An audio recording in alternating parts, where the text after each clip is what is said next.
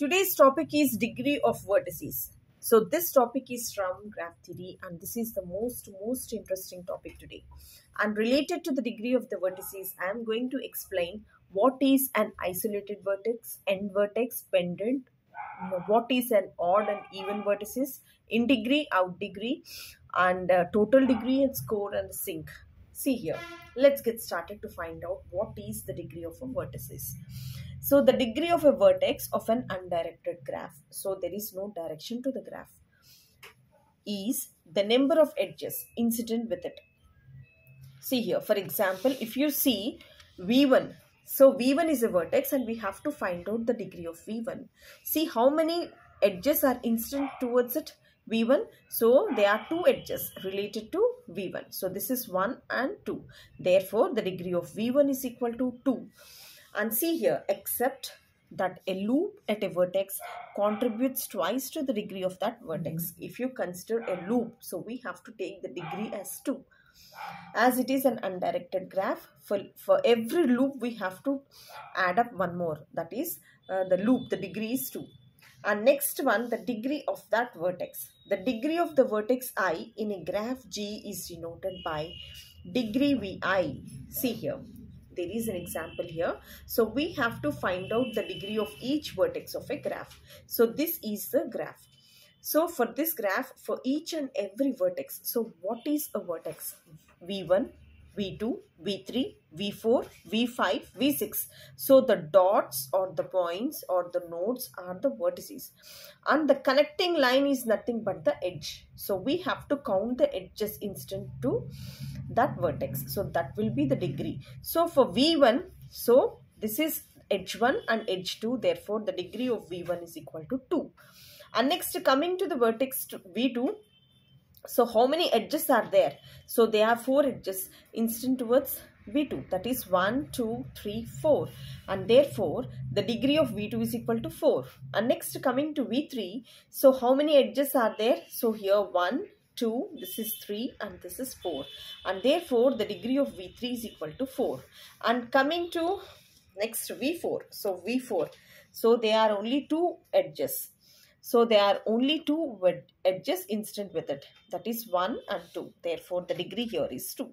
And coming to V5. So V5 is here. And the edges incident with it is 1, 2, 3, 4. Therefore, the degree here is 4. And next coming to V6. So this is V6 and how many edges are there incident with it? 1, 2, 3 and 4. And therefore, the degree here is 4. So is it not easy? So here, see here, the degree of a vertex of an undirected graph, there is no direction for that graph, is the number of the edges incident with it. So we have to count the edges which are incident with it except that the loop of a vertex contribute twice to the degree of that vertex. If there is any loop, we have to um, consider it as two times. See here. So this is the degree of the vertex. And next again, there is an another example here. So coming to this loop here, there is a loop here.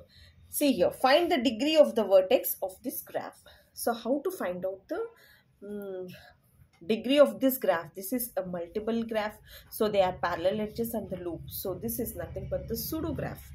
So you can uh, watch all these uh, definitions uh, in my previous video. I have explained you what are parallel edges, what is a loop, what is a pseudo graph, what is multiple graph, what is a simple graph. So you can learn from it. And now coming to this graph.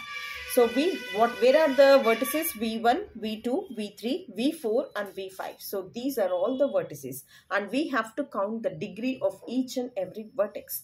And coming to v1 here so how many edges are incident with it? This is 1 this is 2 this is 3 4 and 5 therefore the degree of v1 is 5 and next one coming to v2 so here is V2. So V2. With respect to V2, how many edges are there? This is 1, 2 and 3. So therefore the degree here is 3. And next one coming to V3 here. See, well, here is a loop here. So we have to consider in this way and this way also. We have to consider whenever there is loop we have to take it uh, consider it as 2 in this direction 1 and in this direction 1 so total 2 that is 1 2 3 4 and 5 So therefore the degree of V3 is 5. So please remember this one as there is a loop we have to take it for twice. And next one coming to V4 how many edges are there incident with V4? 1, 2, 3, 4. And therefore, the degree here is 4. And coming to V5, there is only one edge incident with it. Therefore, the degree here of V5 is 1. And next, what is an isolated vertex? See here, it's very clear. A vertex of degree 0 is called an isolated vertex. So here A, B, C, D are four vertices and see here the degree of A is 2 and the degree of C is 2 and degree of D is 2 whereas there is no edge connecting with any one of the vertices. Therefore this is an isolated vertex. And next one what is end vertex? A vertex V of degree 1 is called an end vertex. And see here in this diagram so we have to consider. So this is the diagram for this. So this is a and this is b. So for a the edge is 1 the degree is here 1 and for b also 1 therefore the vertex the vertex v of degree 1 is called the end vertex. And next coming to pendant. A vertex is pendant if and only if it has degree 1 so if any vertex is having degree 1 so that vertex is called the pendant. See here this is the pendant. And next coming to the odd and even vertices. When do you say that the vertex is odd and even? So we have to check the degree of each and every vertex here. So a vertex of a graph is called an odd vertex or an even vertex. See here, it's an odd vertex or an even vertex. Depending upon whether its degree is odd or even. So we have to check the degree here. So we have to check the degree of the given vertex. So consider this diagram. See as you know that V1 is equal to 1, 2, 3, 4, 5. They are four, 5 edges incident to V1. Therefore 5. This is an odd vertex. So V1 is odd and V2 is again odd. V3 is again odd. And next V4 is even and V5 is odd. So so in this way, we can say that the given vertex is an odd vertex or even vertex depending upon the degree of that vertex. And next one, what is a regular graph? See here. So regular graph is nothing but if all the vertices of G have the same degree. So this is also depending upon degree concept. Therefore, if all the vertices of G have same degree, then the graph is called the regular graph. If we have a same degree, we say that it's a regular graph. See examples of regular graph is this one. See here. The degree of V1 is 2. The degree of V2 is, there are two edges here, 2. Degree of V3, there are two edges instead to V3, 2. V4, again 2. So this is a regular graph. And next one coming to this, and this is also, there are four vertices, V1, V2, V3 and V4. Coming to V1, the degree here is, there are three edges incident with V1. Therefore, the degree of V1 is 3 and degree of V2 is 3, degree of V3 is again 3 and degree of V4 is again 3. So, this is also a regular graph. So, if you maintain the same degree throughout the graph, then we say that it's a regular graph. An example. So, if it is degree 2, we say this as a square square graph and if the degree is uh, 3 toward the vertices, then we say that it's a cubic graph. So next one, the next most important thing is in degree and out degree. So what is an in degree and what is an out degree? So this is also an interesting topic. See here, the in degree is the of a vertex of an directed graph. So here there should be a directed graph for in degree and out degree. Is the number of edges ending at V. See here, ending at V so in degree we have to count the number of edges which are ending which are towards to.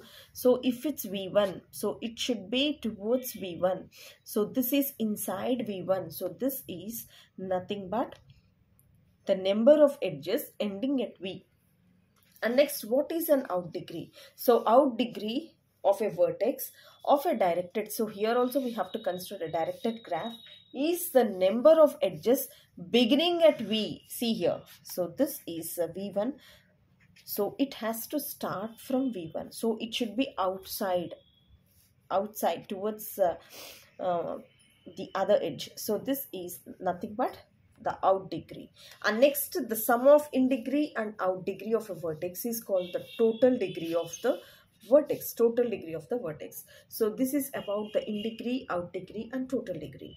And next one a vertex with zero in degree is called a source. If the given vertex has an zero in degree then this is called a source. Then that vertex is called a source.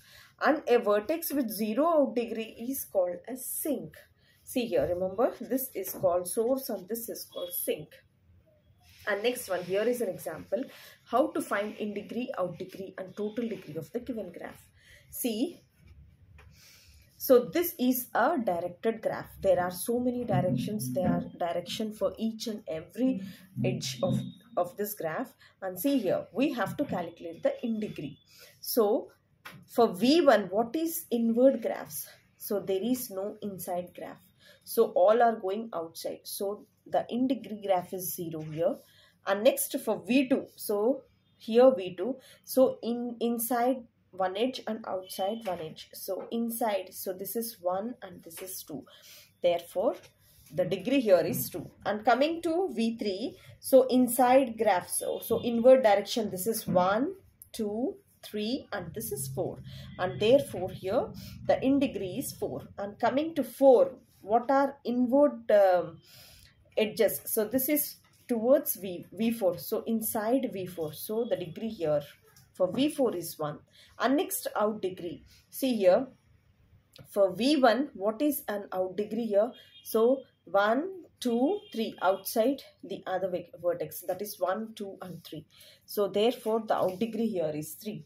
And coming to V2 out degree is so here we have to construct this as inward and outward. So for outward 1 and next one coming to V3 outward degree. So all the four are inwards towards V3. There are no um, there are no edges which are beginning from V3. Therefore, here it is 0. And next 4 outward we need outward degree. So there is uh, there are 3 outward one two three So 3. Therefore, the total degree is nothing but see we have to add up these two. 0 plus 3. So this is nothing but 3 and this is uh, nothing but 3 and if you add 0 4 plus 0 this is 4 and this is 1 plus 3 this is 4 so this is how we have to calculate in degree out degree total degree. So Hope you all guys understand the topic today. That is, I have discussed isolated vertex, end vertex, pendant, source, sink, odd, odd vertex, even vertex, and regular graph, total graph, inward degree, outward degree. So, thank you so much for watching and hope you are all clear with these uh, definitions. And please pass it on to your friends if you really like. Raise your thumb and subscribe to this channel for more videos. Thank you so much.